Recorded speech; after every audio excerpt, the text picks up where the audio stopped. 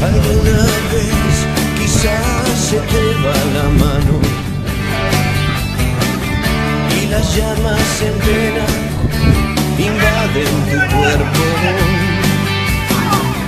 Y caes en manos de